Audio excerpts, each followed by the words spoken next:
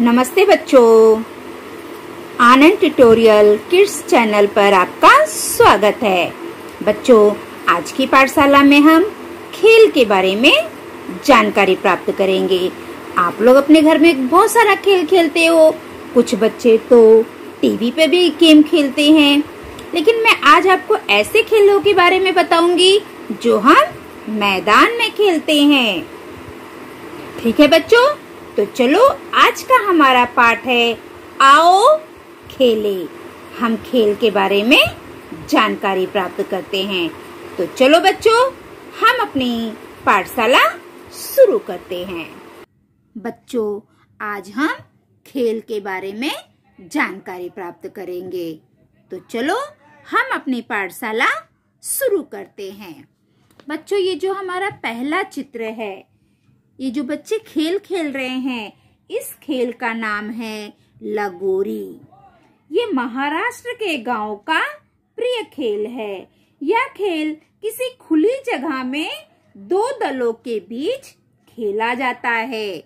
बच्चों, ये जो खेल है ना, इसमें दो दल होते हैं। दो दलों के बीच में ये खेल खेला जाता है। इसमें टाइल्स या ईट के सात टुकड़े एक के ऊपर एक रखे जाते हैं। बच्चों, इस खेल में ना ईट या टाइल्स के छोटे छोटे सात टुकड़े, पहले सबसे बड़ा, फिर उससे छोटा, ऐसे करके रखा जाता है। दोनों दलों के खिलाड़ी बारी बारी से गेंद से टाइल्स या ईट के टुकड़े को गिराते हैं। टुकड़े गिरने पर उस दल के बच्चे भागते हैं और दूसरे दल के बच्चे उसी गेंद से उनको मारकर आउट करने की कोशिश करते हैं। इस बीच पहले दल के बच्चे सात टुकड़ों को फिर से एक दूसरे के ऊपर रखने की कोशिश करते हैं।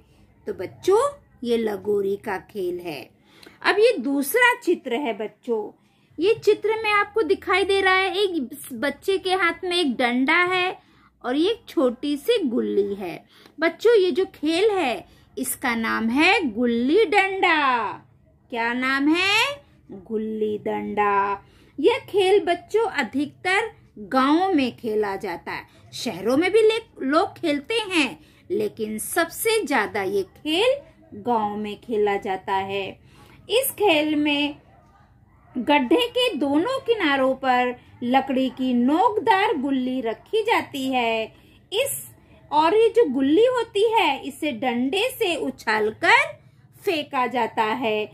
आसपास खड़े खिलाड़ी गुल्ली को लपकने, उसे पकड़ने की ताक में रहते हैं। गुल्ली लपक लेने पर उछालने वाला खिलाड़ी आउट हो जाता है। लपकना मतलब पकड़ना। जो गुल्ली को पकड़ लेता है, गुल्ली को लपक लेता है, उसको पकड़ लेता है, वो उछलने, जो गुल्ली को उछालता है, वो खिलाड़ी आउट हो जाता है। अगर किसी ने इस गुल्ली को लपक लिया, पकड़ लिया तो ये जो खेलता है, ये खिलाड़ी आउट हो जाता है। अथवा दूर गई गुल्ली, वहाँ से फेंकने पर, डंडे से लगने से भी खिलाड़ी आउट हो जाता है। आउट ना होने तक गुल्ली उछालने वाला खिलाड़ी अपना दांव जारी रखता है।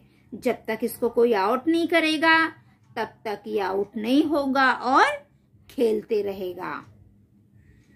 ये जो गुल्ली को मार रहा है ना, अगर आपने यहाँ से उसको गुल्ली को पकड़ लिया तो ये खिलाड़ी आउट हो जाएगा। ठीक है बच्चों तो ये गुल्ली डंडा का खेल है। किसका खेल है? गुल्ली डंडा का खेल है। अब हमारा अगला चित्र है। ये चित्र देखो बच्चों, आपको देखकर ही समझ गया होगा। ये कौन सा खेल है? कबड्डी। कबड्डी के खेल में दो दल होते हैं। ये देखिए, एक दल इधर है, एक दल इधर है। एक दल का खिलाड़ी दूसरे दल में कबड्डी कबड्डी बोलते हुए जाता है। जैसे ये बच्चा इस दल का है, वो कबड्डी बोलते बोलते इस दल में गया हुआ है। वहाँ एक ही सांस में ये शब्द बोलते हुए दूसरे दल के खिलाड़ी को छूकर उसे आउट और अपने पाले में लौट आने का प्रयत्न करता है। ये जो गया है, ये कबड्डी कबड्डी बोलते हुए जाएगा और यहाँ से किसी को आउट करके वापस आएगा। आउट करने की कोशिश करता है। और फिर अपने मैदान में वापस आ जाता है। यह खेल खुले हुए मैदान में खेला जाता है। ये जो खेल है ना, इसे हम घर में नहीं खेल सकते हैं। इसे खुले मैदान में खेला जाता है। अब हमारा अगला चित्र है। ये चित्र देखकर आपको समझ में आ गया बच्चों, ये क्या है? बोलो बोलो, क्रिकेट, बैट बॉल।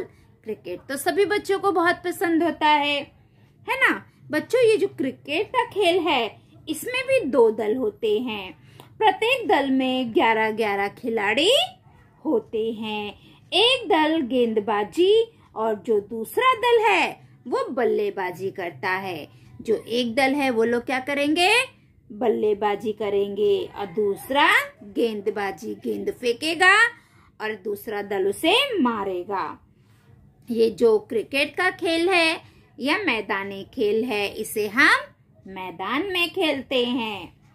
जो पिच पर खेला जाता है, अधिक रंग बनाने वाले दल को विजयी होती है।